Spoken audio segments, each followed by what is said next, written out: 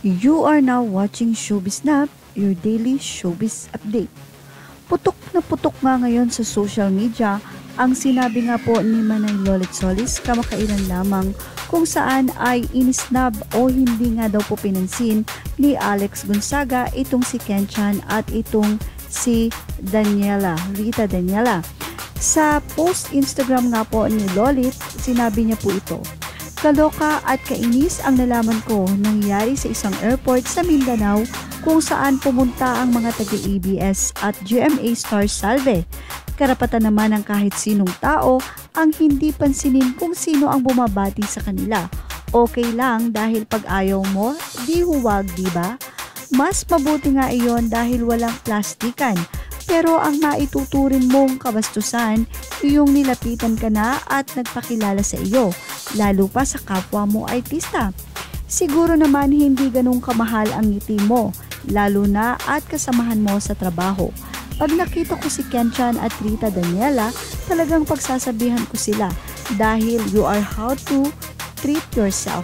Kung totoo man na gusto nila at fan sila ng pagiging vlogger ni Alex Gonzaga, just admire from a distance.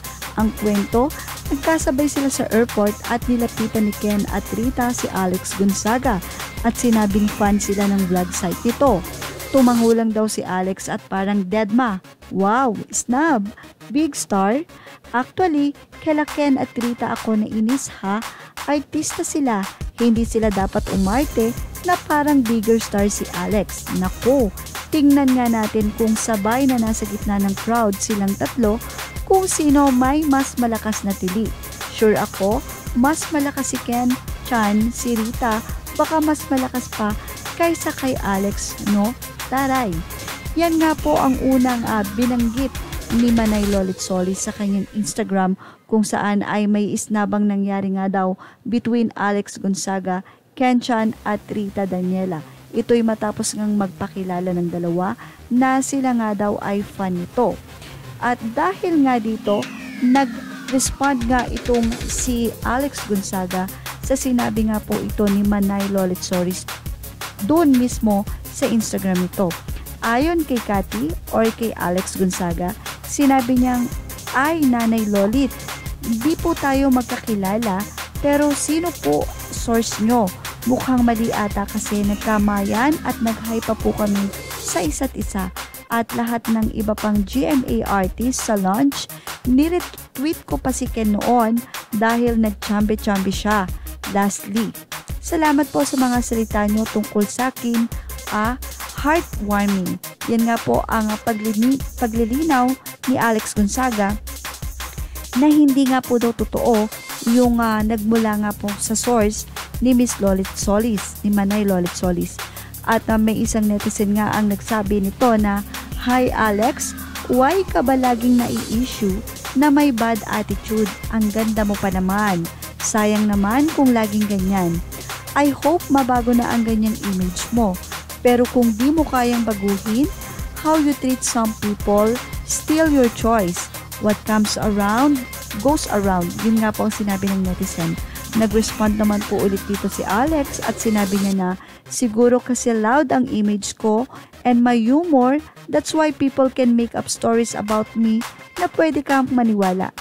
It's okay, my real friends and family know who I am. Yan nga po ang paliwanag ni Alex Gonzaga sa isang netizen nga po na tila pumabor doon nga po sa sinasabi ni Manay Lolit Solis. Dahil nga po nag-deny o sinabi nga ni Alex Gonzaga ang side niya na nagpansinan o pinansin niya nga po itong si Daniela, uh, si Rita at si Ken noon nga po nga sinasabi ni Manay Lolit Solis na nagkaroon nga po daw ng isnaban ay nilinaw nga po ni Alex na niretweet pa nga po niya itong si Ken. At dahil nga po dito, may panibago na naman pong um, pahayag itong si Manay Lolit doon nga po sa pahayag ni Alex. Ito po ay 18 hours ago lang so wala pa pong isang oras, uh, isang araw na ito po ay ipapanahayag, ipapaha, ipinahayag nga po ni Malay Lolit. Narito po ang sinabi niya. Naku, talagang dapat siguro pag nasa traffic ako, huwag akong magta-type ng post ko salve. Mia culpa, Talagang dahil ewan ko ba kung bakit dormitoryo nasa utak ko, pero doktolero na type ko. Pero no amount of apology can do unto the harm ng kabobohan ko. So sorry po, Darwin Dormitorio ang pangalan ng namatay na PMA cadet. Siguro ayaw ni Brando ng publicity kaya nagkamali-mali ako. Hehehe, joke po. Uh, talaga pong kasalanan ko in regard po sa pangyayari kay Alex Gonzaga, Rita Daniela at Ken Chan, sumusumpa ang source ko na totoo daw ang nangyari. Asa bagay na iyon, hindi ko gustong siraan si Alex. Actually nga, ang gusto ko pagalitan sila Rita at Ken dahil for me, you treat yourself better para hindi ka masnab. Very demeaning na gawin ng isang kapwa mo artista ang ginawa ni Alex. Pero karapatan niya yan kung ayaw niyang makipagchika, hindi ko naman sinasabi na dapat feeling big stars din sila Rita at Ken. Pero sa mga okasyon na ganoon, isipin mo rin na dala mo ang bandera ng GMA at para sa isang ABS star na umasta ng ganon para bang ano yon feel we are smaller ang dating tama na iyon iba bakit ba parang mas affected ako Of course, dahil hindi ba para kayong neighbors na dapat mabait sa isa't isa, na dapat pag magkakasabay kayo sa isang lugar, pare-pareho kayong representative ng showbiz. Walang mataas o mababa, walang masikat o baguhan.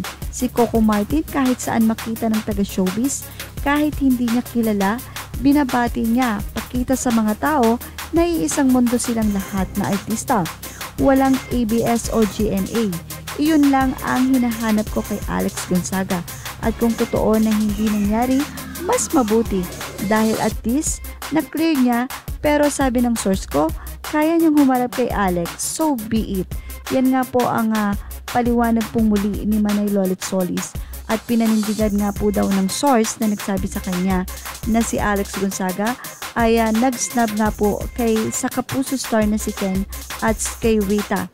But Anyway, kung ano man po ang totoo, uh, sana po ay maging maayos na ito. At kay Rita at kay Ken, actually ayaw na po nilang maging uh, issue pa ito o lumaki.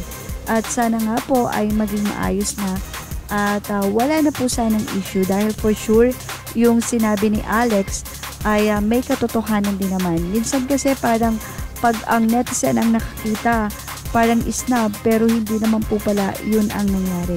But uh, public uh, figure po kasi sila. So lahat ng uh, medyo mali na kilos ay talagang makikita. Kasi syempre intriga po yan.